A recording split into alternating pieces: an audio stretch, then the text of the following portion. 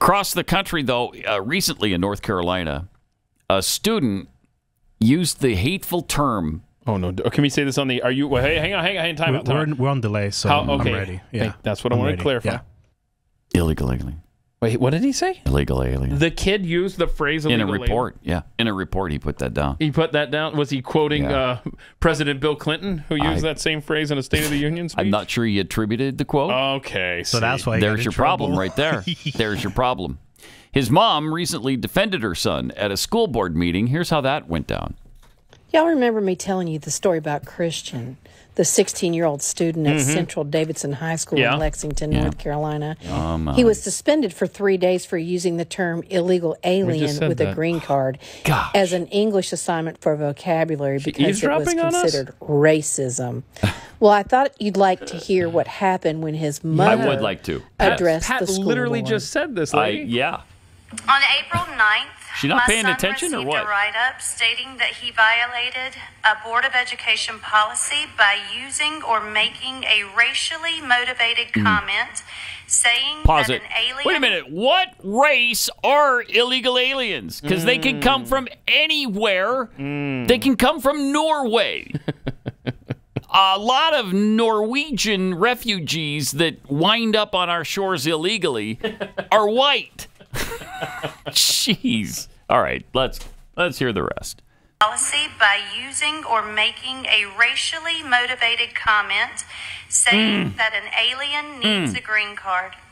Board, there is nothing inappropriate about saying aliens need green cards, and there Right. certainly isn't a case for racism due to the fact that mm-hmm. alien is not a race. Thank you. Per the board's policies found on your website, this board has control and authority over all public schools in Davidson County, including Central High. This board's policies do not prevent students from using the word alien, illegal alien, green card, hmm. nor does it state that these words are racially insensitive or abusive. Hmm. I cannot appeal this suspension since it is less than 10 days. Hmm. Racism is only a three day suspension with no appeal when it should be a top tier punishment. After no resolution, I emailed Alan Beck and Nicholas Jarvis asking for help. These emails remain unanswered to this day, four hmm. weeks later. However, two board members did choose to send messages to county leaders Uh-oh. and residents with my personal arrest record from 14 years ago Oh, and wow. encourage them to post this on social media. Oh, my These posts gosh. were sent around my child's school. Ah, Two members of this board, too busy to hear a mother's cry, yet not too busy to assault her character and one more attempt to hurt her child. 14 years ago, I was arrested for possession of pain medication, sentenced to six years, served four, then released early, successfully reintegrating into society. I was since appointed by a Superior Court judge in Brunswick County, North Carolina, to serve on an advisory board for their commissioners. I held that seat for years until I moved to Davidson County. I am nationally accredited with the Encompass Program of America and have spoken publicly over 30 times in many states regarding addiction. Wow. However, Chairman Beck and Ashley Carroll chose not to include that in the text that they shared. Through your reckless attempt to slander my name, you mm-hmm. have successfully re traumatized my family.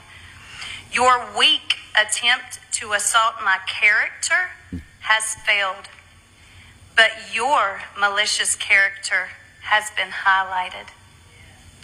It is my opinion that two members on this board are highly corrupt. Hmm. I request corrective action be taken to remove you both in order to protect Nice. all children and Good. families of this county. Thank you for letting me share. no, no. Thank you. That's great. Wow, there was a lot there. Yeah. First of all, she went to prison for for having possession of uh, pharmaceuticals, like a pain medication. She went to prison for four years. Sentenced to six. My gosh, that's really something.